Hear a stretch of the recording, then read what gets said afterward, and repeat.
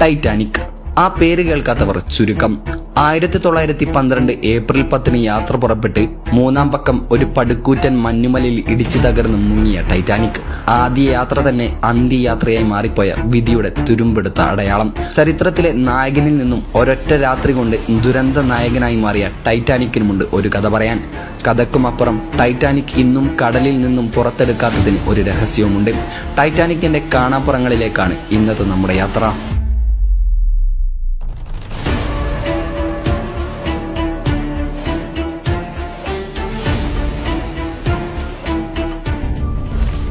ഇരുപതാം നൂറ്റാണ്ടിന് തുടക്കം. ഇന്നത്തെ പോലെ യാത്രാ വിമാനങ്ങൾ അന്ന് രംഗത്തെത്തിയിട്ടില്ല. ഒരു രാജ്യത്ത് നിന്നും മറ്റൊരു രാജ്യത്തേക്ക് പോകണമെങ്കിൽ കപ്പൽ തന്നെ ശരണം. കപ്പൽ കമ്പനികൾ കൂടുതൽ യാത്രക്കാരെ തങ്ങളുടെ കപ്പലുകളിലേക്ക് ആകർഷിക്കാനുള്ള തന്ത്രങ്ങൾ തലപ്പുകഞ്ഞാലോചിക്കുന്ന കാലം. ഇംഗ്ലണ്ടിലെ ഒന്നാം കിട കപ്പൽ കമ്പനിയായിരുന്നു white star line.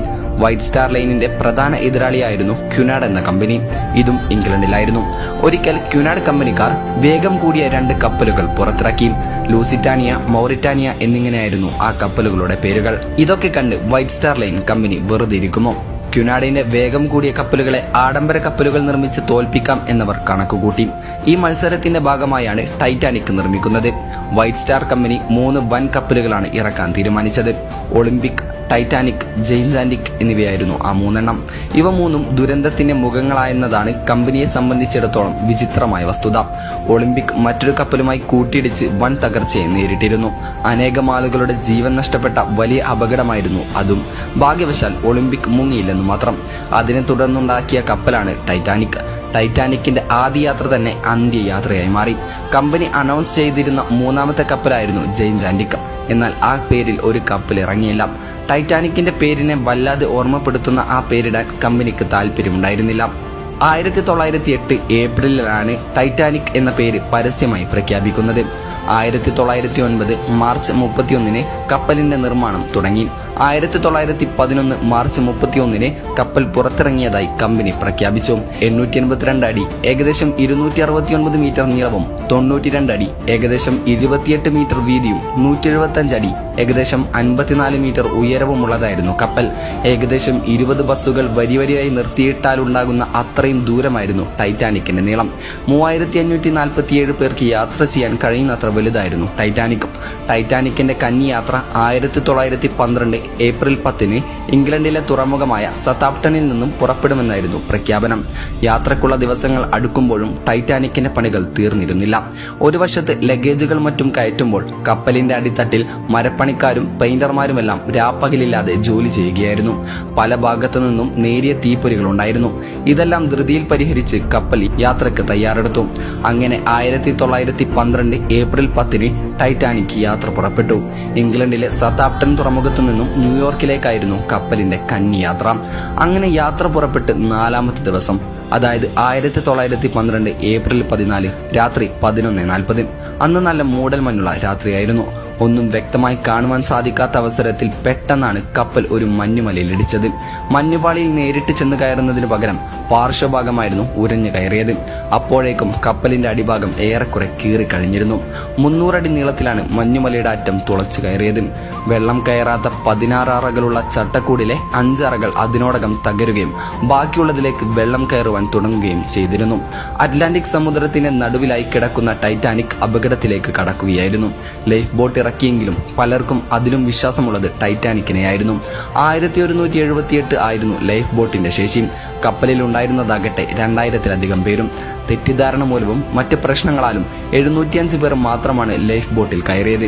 അങ്ങനെ കപ്പൽ കടലിലേക്ക് മുങ്ങുന്നത് വേഗത്തിലായി. പുലർച്ചെ ഒന്ന് അൻപത്തഞ്ചോടെ പതിനെട്ടാമത്തെ ലൈഫ് ബോട്ട് കടലിലേക്ക് ഇറക്കിയപ്പോൾ പതിനഞ്ചടി മാത്രമേ താഴ്ത്തേണ്ടതായി വന്നുള്ളൂ. കപ്പൽ അത്രയധികം മുങ്ങിയിരുന്നു. പുലർച്ചെ രണ്ടേ അഞ്ചിന് അവസാനത്തെ ലൈഫ് ബോട്ടും കടലിൽ ഇറക്കി രണ്ട് പതിനേഴോടെ കപ്പൽ സമുദ്രത്തിന്റെ അടിത്തട്ടിലേക്ക് മാഞ്ഞുപോയി. ഇനി നിങ്ങളിപ്പോൾ മനസ്സിൽ ചോദിക്കുന്ന ആ ചോദ്യത്തിലേക്ക് വരാം. എന്തുകൊണ്ടാണ് ഇന്നും ടൈറ്റാനിക് ആരും പുറത്തെടുക്കാത്തത്? ഈ ചോദ്യത്തിന് ഉത്തരങ്ങൾ ഒരുപാടുണ്ട്. അപകടം പറ്റി എഴുപത് വർഷങ്ങൾക്ക് ശേഷമാണ് ടൈറ്റാനിക്കിനെ കടലിനടിയിൽ ആദ്യമായി കണ്ടെത്തിയത്. കപ്പൽ കണ്ടെത്തിയ അമേരിക്കൻ നാവികസേന ഉദ്യോഗസ്ഥൻ റോബർട്ട് ബല്ലാഡ് യഥാർത്ഥത്തിൽ ആഴക്കടലിൽ മുങ്ങിത്തപ്പിയത് ടൈറ്റാനിക്കിനെ അല്ലായിരുന്നു. അമേരിക്കയുടെ മുങ്ങിപ്പോയ രണ്ട് ആണവ കപ്പലുകൾ തേടിയുള്ള യാത്രയിൽ അവിചാരിതമായിട്ടാണ് അദ്ദേഹം ടൈറ്റാനിക്കിന്റെ അവശിഷ്ടങ്ങൾ കണ്ടെത്തുന്നത്. അതായത് ടൈറ്റാനിക് കടലിൽ മുങ്ങിത്താണിട്ട് ഏകദേശം നൂറ്റിപ്പത്തോളം വർഷങ്ങൾ പിന്നിട്ട് കഴിഞ്ഞു. അതായത് ഒരു നൂറ്റാണ്ടിലേറെ കാലമായി ടൈറ്റാനിക് കടലിന്റെ അടിത്തട്ടിൽ കിടക്കുകയാണ്. അതുകൊണ്ട് തന്നെ ടൈറ്റാനിക്കിന്റെ പല ഭാഗങ്ങളും ദ്രവിച്ചു തുടങ്ങിയിട്ടുണ്ട് എന്നാണ് പഠനങ്ങൾ പറയുന്നത്. ഇനി ടൈറ്റാനിക് പുറത്തെടുക്കാൻ ശ്രമിച്ചാലും കപ്പൽ പൊടിഞ്ഞു പോകാനാണ് സാധ്യത.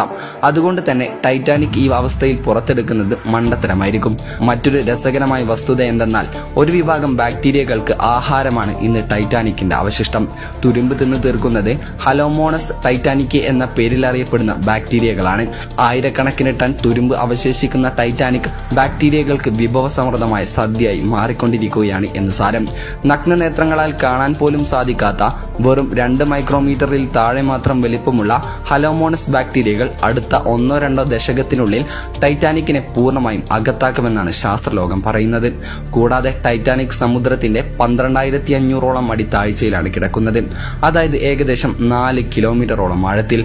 ഇത്രയും ആഴത്തിലുള്ള കടലിന്റെ സമ്മർദ്ദം നമ്മൾ ചിന്തിക്കുന്നതിലും അപ്പുറത്താണ്. അതുകൊണ്ടൊക്കെ തന്നെ അത്രയും താഴ്ചയിൽ പോയി ആ കപ്പൽ പൊക്കിക്കൊണ്ടുവരിക എന്നത് വലിയ അപകടം നിറഞ്ഞ കാര്യമാണ്. ഇതിനൊക്കെ പുറമെ ടൈറ്റാനിക്കിലെ വിലപിടിപ്പുള്ള വസ്തുക്കളും നിധികളും ഒക്കെ എത്രയോ കാലങ്ങൾക്ക് മുൻപ് തന്നെ പുറത്തെടുത്തിട്ടുമുണ്ട്. കാര്യങ്ങൾ ഇങ്ങനെയൊക്കെയാണെങ്കിലും ടൈറ്റാനിക് പുറത്തെടുക്കാനുള്ള പല പദ്ധതികളും പല കാലങ്ങളിലായി ചർച്ച ചെയ്തിട്ടുണ്ട് എന്നതാണ് മറ്റൊരു സത്യം. കൂടാതെ പത്തിരുപത് വർഷങ്ങൾ കഴിയുമ്പോഴേക്കും ടൈറ്റാനിക് പൂർണമായും കടലിൽ നിന്ന് അപ്രത്യക്ഷമാകുമെന്നാണ് ശാസ്ത്രലോകം പറയുന്നത്.